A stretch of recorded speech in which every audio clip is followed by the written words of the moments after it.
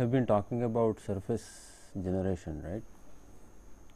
So, last time we actually looked at methods of displaying uh, surfaces in terms of its representation, right. So, parametric surfaces could possibly be rendered by either breaking them into piecewise linear or coplanar elements, right, or you have subdivision of the of the parametric surfaces right? So what we looked at basically a polygonal representation of objects right? And the uh, motivation to have polygonal representation are could be various. And one of the main motivation is that the rendering of polygons in general is hardware supported. Right. So, when we will talk about uh, shading or rendering of polygons, then we will discuss more in details. So, uh, on and also for the for the uh, acquisition of data from various scanners, right. So, you primarily get the point clouds for which you establish the connectivity and form triangles or any polygons. So, that is the kind of data for which you would like to again use a polygonal representation. Right. So, so what we basically looked at is that if there is an object of this kind, it could actually be made of several surfaces. So, in this case there is a surface which is the sides of the object and then there are caps of the cylinder right? And each of these surface in turn could be represented as polygons or collection of polygons right, which we refer to as polygonal mesh. So, this is represented using several polygons and this top and bottom are again represented by polygons right? And often for the purpose of simplicity, we use triangles as polygons, because we can always break down the polygons into triangles and computations on triangles are again more efficient. Right. So, what we basically looked at uh, various ways of uh, representing data pertaining to these polygons or the polygonal meshes, the data structure which is required. So, the first type we looked at was, so yeah when we are talking about polygonal representation we are looking at representation of the edges which connect the vertices and the polygons which again is a sequence of edges right that is what we mean by. Okay, so, the explicit representation we looked at is basically a way of representing a polygon as collection of individual vertices to form that polygon.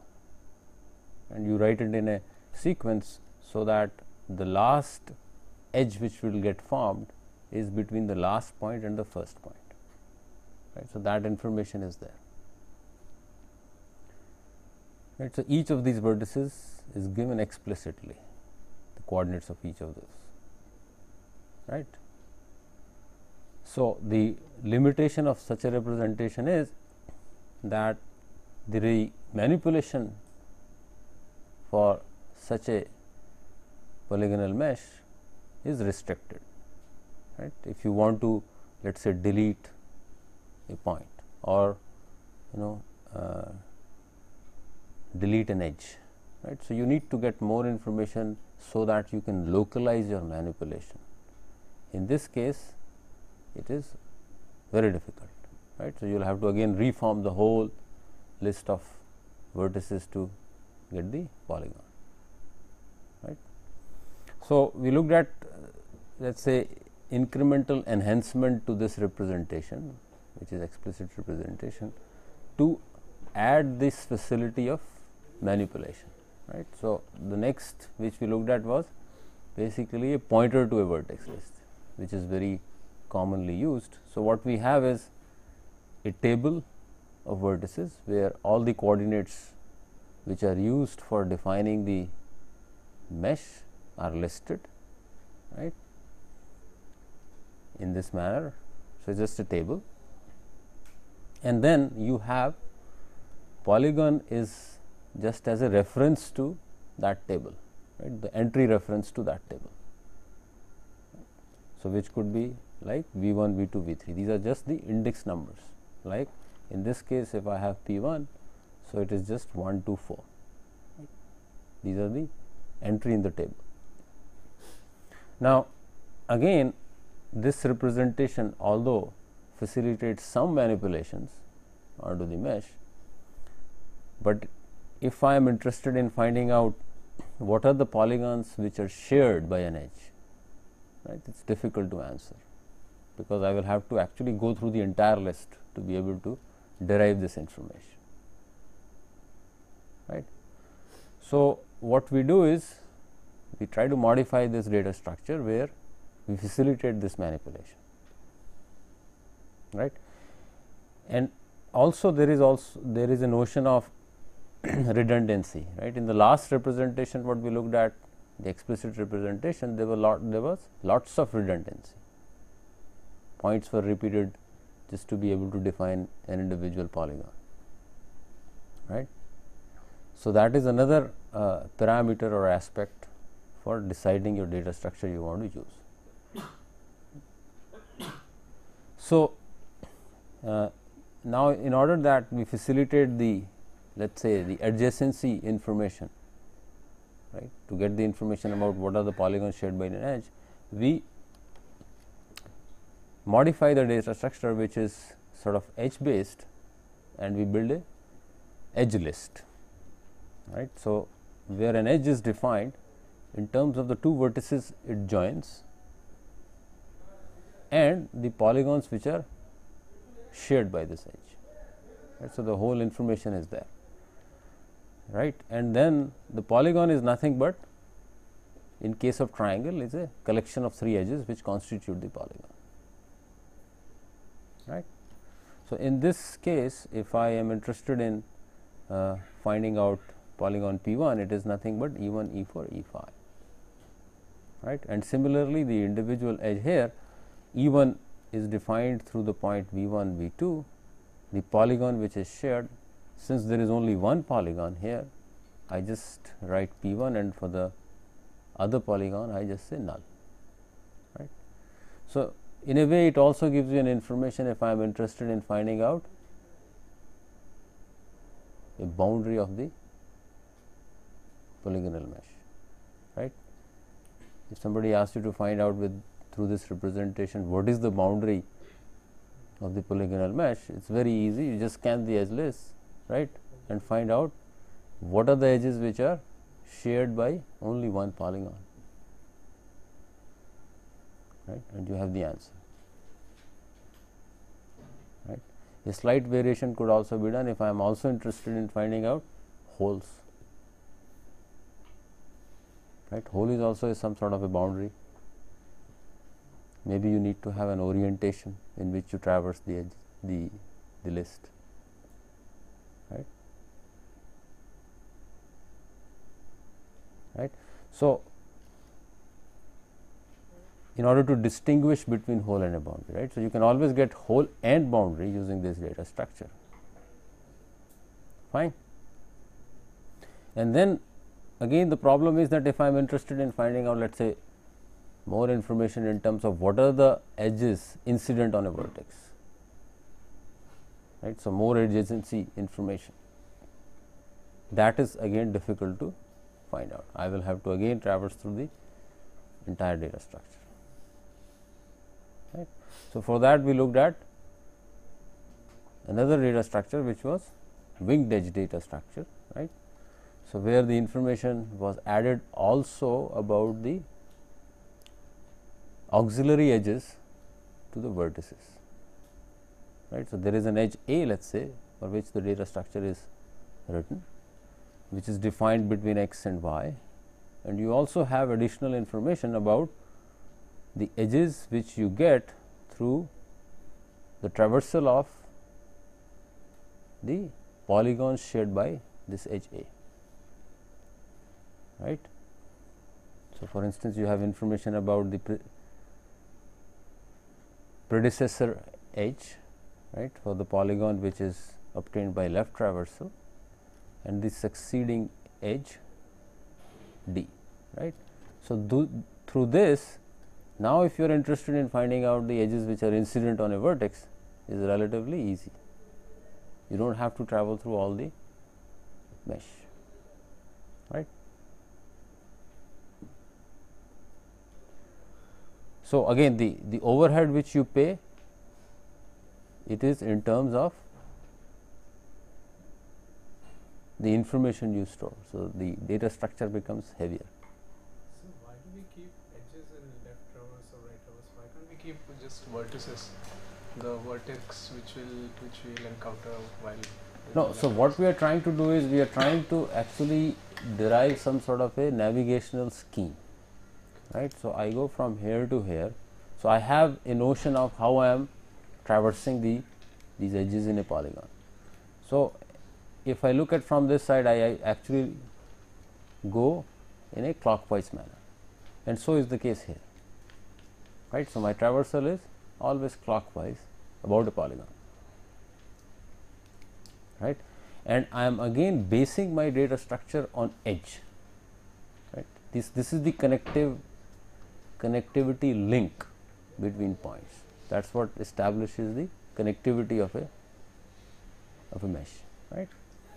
So, I just travels through that and I can derive information about the polygons which would be adjacent to an edge or shared by that edge right and also in case for a particular and I also have the explicit information about what vertices the edge constitutes right. So, x to y I know that the, the additional information if I am interested at any point of time for instance getting the edges which would possibly be incident here on this vertex right? Just the traversal scheme would give me the information about the edges here because this edge is given by this traversal this edge is given by this traversal. So from here now i can go to the other traversal right this polygon and so on. So, the number of polygons or edges which I need to traverse is limited. It is not a function of the number of edges in the mesh right. So, in some sense it is again constant time right. Okay. So, so that is what we had discussed last time. Now, uh, now what we will do is we will basically look at the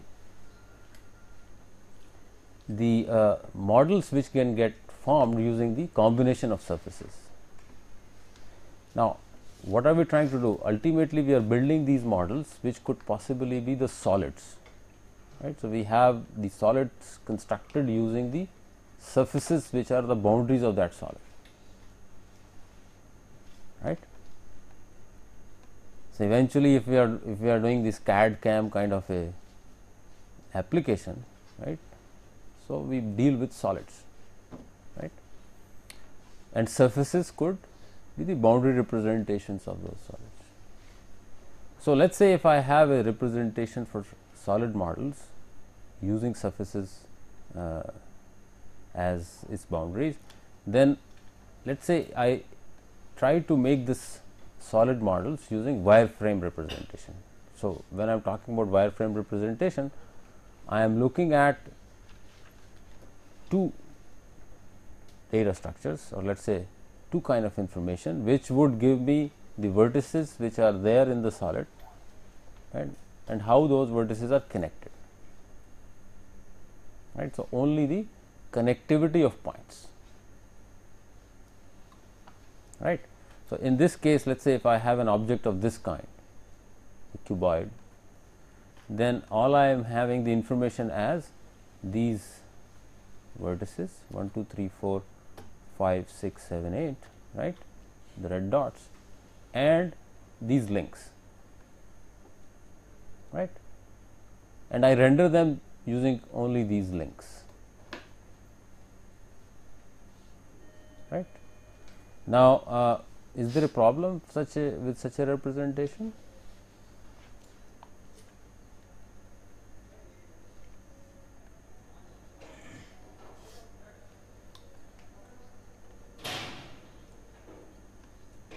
See this is the way I am going to display it right using the links of the vertices. Now the question is uh, is there any problem with this? You're not sure if, if a surface exists at some place. Right. So in some sense it it could be ambiguous, right? So for instance, let me give you an example. See, let's say if I have a wireframe representation which is given like this, right? The only thing I have the information about the links joining to the various points, right? Then this could be like this, this could be like this, and this could be like this, right. So, there is lots of ambiguity about what do I see from here, right. So, just having the information about the vertices which are giving you the boundary of a solid and the respective links is inadequate right? To be able to know what that solid could possibly be there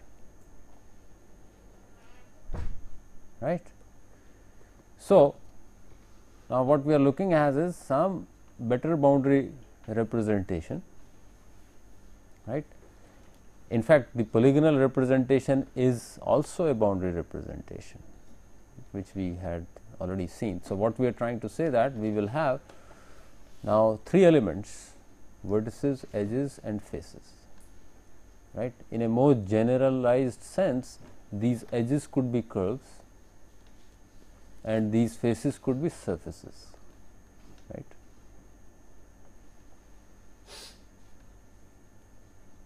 But we need information about these right? So to resolve the ambiguity of a solid now, when we are talking about these boundary representations for, for solids, often we actually consider those boundary uh, for the solids which are manifolds. Right? What do I mean by manifolds?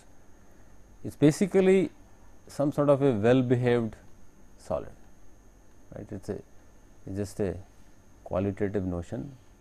Uh, mathematically, what we what we are trying to say there is that it should satisfy some condition so that I have the surface which is a manifold right and that condition is basically that for each point if I consider on the surface say point x so there exists an open ball open ball means some sort of a sphere with the center x right which let us say is defined using a very small radius some r. So, that the intersection of this ball and the surface can be continuously deformed to form an open disc. Okay. So, then I, I have the the boundary or the surface is manifold or sometimes also called as two manifold right. So, let me give you the example to be able to appreciate what I said. So, here is an example of a cuboid right which is two manifold. What I consider let us say at location 2 I define a an open ball a spherical ball right? The center of which is some point x which is on the surface right? Fine. Now, what do I see which I get as an intersection of this to the surface of this boundary is a disk which is given here with the red. Right? That is what I mean by the open disk. Right. Now, so this should happen everywhere. When I said open disk which is which you get it after some deformation also. Right. So, it should be possible to get an open disk even using some deformations that is what I need. Now, let us say if I consider here at the edge right I embed this open ball. Now, if I look at at this location this is what you will see right. This is nothing but some sort of a bent disk right which I can again twist it right to get the open disk fine. Let us say if you go to this corner. Right? Again when you see the the intersection of this this open ball with the surface here at this point you get again the three fold kind of a disk right? Again you can turn it or twist it right to get the open disk right. So, all we are saying is that we should be able to get after let us say some deformation an open disk when I embed a an open ball that is what is the condition for two manifold right. Now, let us see when we do not have such a condition and that is what we do not call it as two, mani two manifold is something here in this. So, here when you look at what you find is this right. So, what you get here in fact two disks right and you can get an open disk only by gluing them together right not by deforming the same disk right. So, that we consider is a violation of that condition right. So, this is not a two manifold.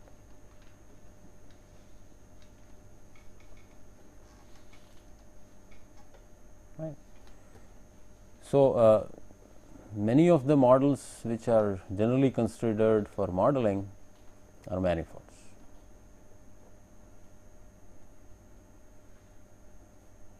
Right. Now, uh, let us take some more uh, examples where we will be able to have these boundary representation for the solid models. So, these are some simpler examples are polyhedra or poly, polyhedral objects right. So, these polyhedra are multifaceted 3D solid bounded by a finite connected set of plane polygons such that every edge of each polygon belongs also to just one other polygon. So, you have the edge which is shared by exactly two polygons that is what it says right. So, some of the examples are this you have this. So, again you can have both convex and non-convex polyhedra. Right. So, these are the examples of convex polyhedra and this is the example of non-convex or concave polyhedra. Right. But if you look at each of these edge, it is exactly shared by two polygons.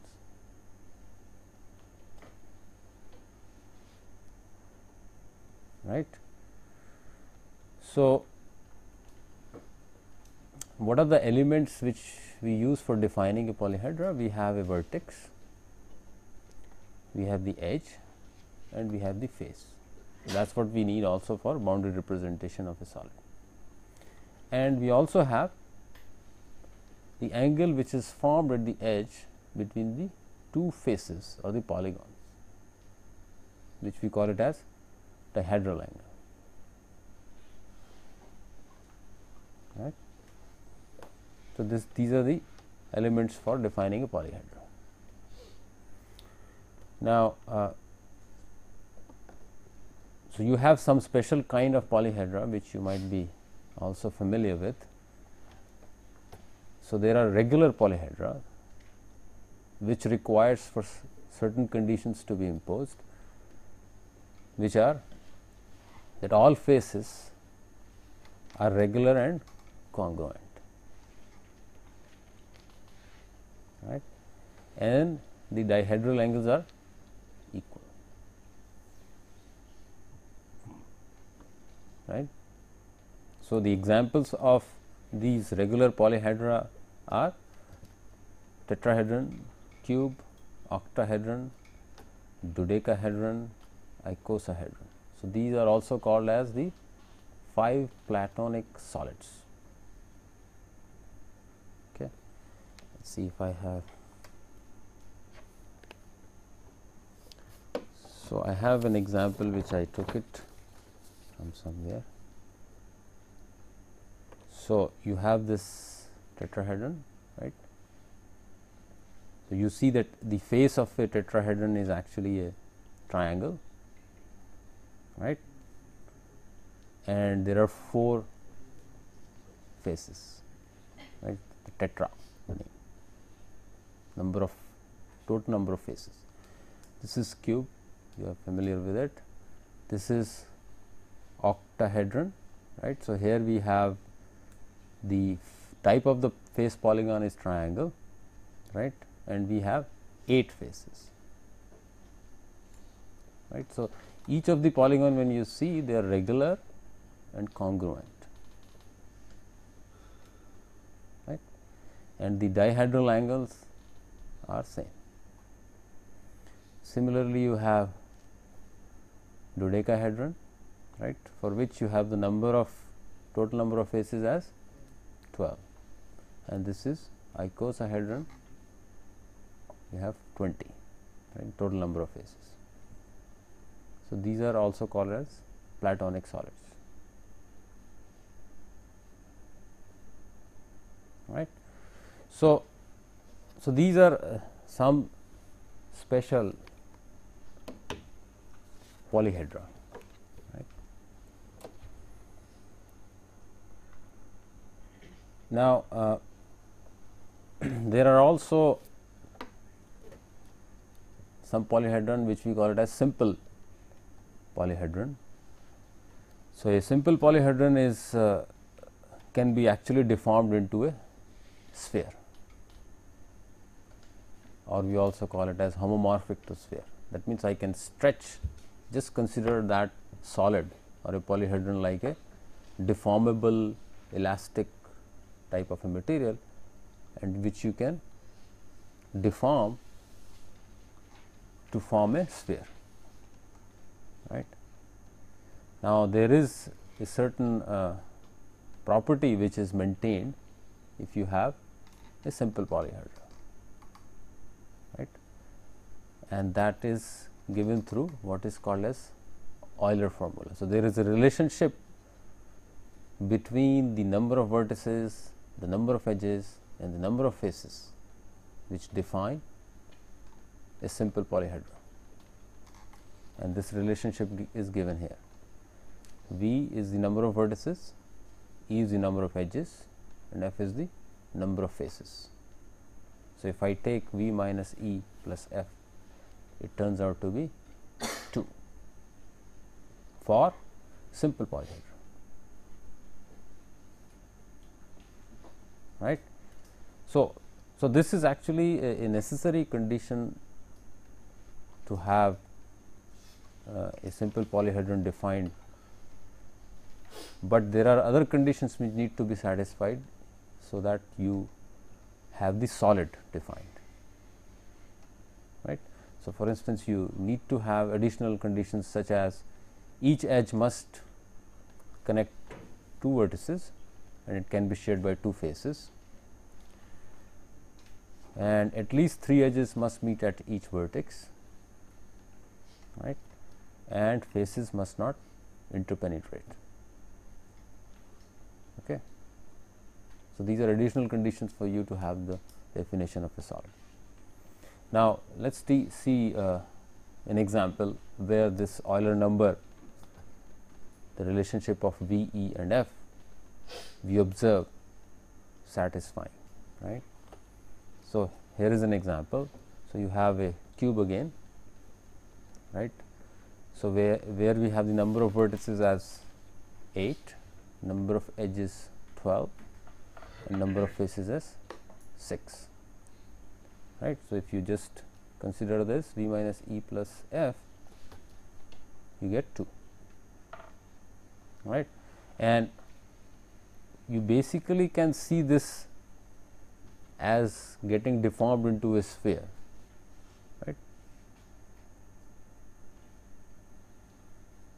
you, you see consider like sphere in a very uh, coarse resolution. Right?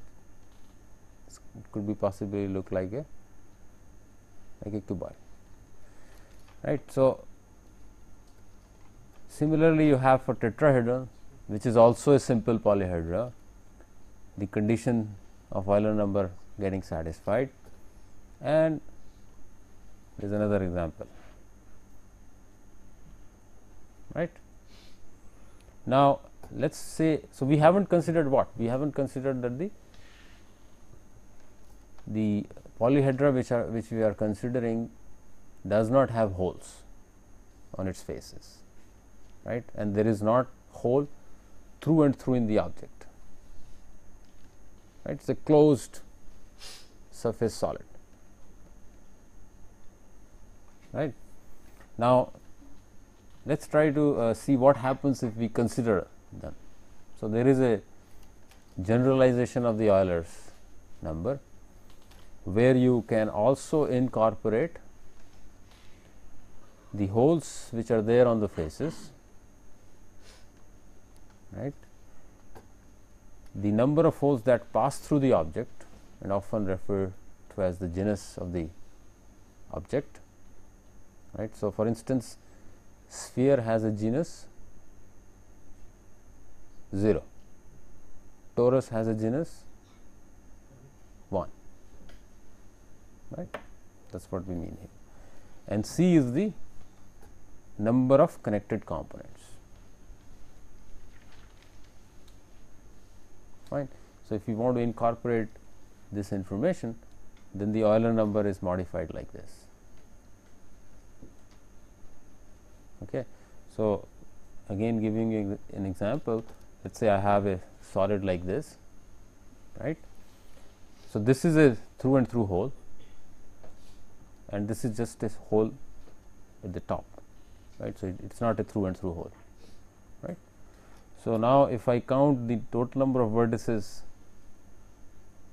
comes out as 24, number of edges is 36, number of faces is 15.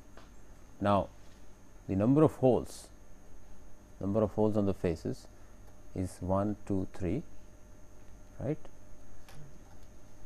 The connected component is 1, whole thing is connected, right, and genus is 1. There is one hole which is through the object, right. So, if I substitute this information there, I should get the left hand side is equal to right hand side. So, in this case it turns out to be 0 right on both the sides. Right. Okay. So, so these are some let us say examples of polyhedral objects right their elements and the property captured using Euler number. Now, there is something else which can also be used for representing solids or let us say designing solids. or constructing solids. So, there is something called as constructive solid geometry which is in short form also called as CSG right. So, a CSG solid is basically constructed using a few primitives and some boolean operators which are performed on those, those primitives right. So, for instance you can consider primitives like cube, prism, sphere, cylinder, cone etc. right. The boolean operators are nothing but the simple set operations which you are familiar with right? For example difference union intersection right? So the idea here is that you can construct a fairly complicated solid model using collection of these primitives and some boolean operations on those primitives right again it, it has a lots of application in CAD CAM right. So, let me illustrate here what do I mean by this. So, let us say if I have a uh, if I have two primitive let us say primitive of cylinder. So, A is this B is this right? There is one horizontal cylinder and there is one vertical cylinder. These are the two primitives I consider. Right. So, a simple set theoretic operations for instance union would give me something like this. And it is a useful solid. Right? We see in many mechanical parts such a component. Right which is built only by a simple boolean operation of two primitives. Similarly, I can construct A intersection B which would be like this. This is A minus B and this is B minus A. Right. So, this is another way of constructing complex solids just by applying boolean operations to simple primitives right. So, in fact, when we uh, do ray tracing we will deal with rendering these CSG models. Okay. Because here what you need to also consider what is the interior of the solid what is the closure of the solid, what is the exterior of the solid to be able to decide that this is the part you are going to render. Right? And ray tracing that does that uh, by the process of getting the visible operate visible points. Right? So, ray tracing does it inherently this operation. So, we will look at it more carefully when we talk about tracing. Right. So, uh, just to further illustrate, let us say if you are interested in getting this, right, that is what you want as an end end model of the solid, right. So, there is this block here, there is another block and there is a hole in this block, right. So, you can start with these primitives right where you consider this block 1 block 2 and then there is a cylinder here right. So, all it requires you to have certain transformation of these primitives and perform the boolean operations right. So, what you do is you you translate these blocks to be able to get into this configuration right? This is block 1 this is block 2 all it requires is a translation right? And then you may also do a translation of this cylinder such that it goes at this location right? Then all you need to do is here you need to perform the difference whereas here you need to perform the union right. So, the total transformation which you need to be able to get this particular solid is a union of translated block 1 block 2 with the translated cylinder right which gives you this and then you take the difference of these two right? Now uh, is it unique? The CSG representation is not unique right? You can construct this in different ways right? So now looking at this as a chain of transformation accompanied with the boolean operations I can actually represent this as a some sort of a tree right. So, this operation I can actually write where the leaf here is the primitive, the intermediate nodes are some transformation or boolean operation. So, here you have some transformation like a translation and here you have a boolean operation right and the root of this whole thing is your solid the object of interest right. So, I can actually look this as a tree structure to construct the solid. All right. Now, uh, so this is basically what we wanted to look at as solid models. Right. Now, there are other uh, representations also. Uh, for instance, you can also consider solids to be collection of volumetric elements. Right. So, those representations we are not going to consider here, maybe at some later stage. Right. So, there in fact, what we are saying is that just like an image is a collection of several dots of pixels. Right. Similarly, a solid is collection of some volumetric elements called voxels.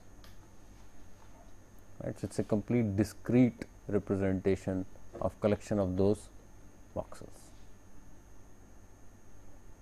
Right.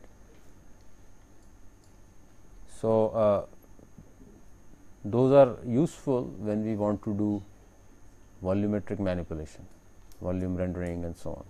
Right. So, those we are not dealing with here. Now, uh, just this tree structure which is basically a collection of transformations and boolean operations also inspires us what is you will have the assignment which we have already discussed. See tree structure is also giving you a notion of hierarchical modeling, where certain primitives are coupled with the transformations to define your final model right. So, that is what we are going to look at just to give you a sketch of it and then we will talk about the details of your assignment next time. In fact, this is uh, a part of the rendering pipeline which we had seen earlier, right, where the interest only is to form a scene or form your world right before you perform the viewing transformations and so on right. So, here the idea is that if you are trying to build a scene which is nothing but collection of houses right then you can look at the primitives which would build parts of the model or the model right. So, here you have a, some sort of a prism here, here you have some sort of a cuboid here right which will get some modeling transformation to be applied to form this right. So, an individual house could basically be constructed using a primitive right a simplified model and a transformation right. So, once you have got let us say model of house then again you can get various instances of this house using again set of transformations. You can have a bigger house, smaller house, wider house, thinner house and so on and build a whole colony of houses right. So, this shows some sort of a hierarchy in the modeling process.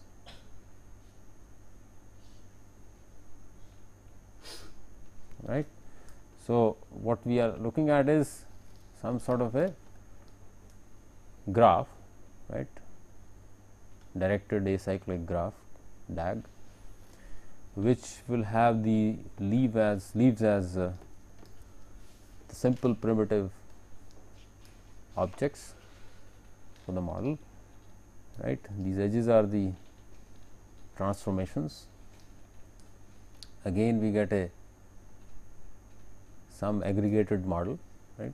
Again using some transformations we build our world or scene right? So a scene can basically be defined in terms of a graph or a tree right? Where the nodes could have a simpler model right? And that simpler model can, can again be decomposed into its primitive elements right? Then you you build whole hierarchy of your model right so for instance when we are dealing with the design of a car right so there will be several primitives for your model which could be built as a hierarchy right. So, you can construct one wheel and then build the rest of the wheels right. And similarly, if you want to have symmetric sides then you build one side and take a reflection of that right. So, eventually what you are doing is you are using combination of model primitives and the transformations to build the entire scene. Right. So, we will talk more about this in the context of your assignment right and uh, so you will also see some mm, some of the uh, let us say prototypical models for the car which we which which uh, I want you to build. And if you want to uh, make some specific model there are also sites available for the measurements which will which will also be announced along with the assignment which you can see and build a specific model right? So start working on it otherwise things are going to be hard. Okay? Thank you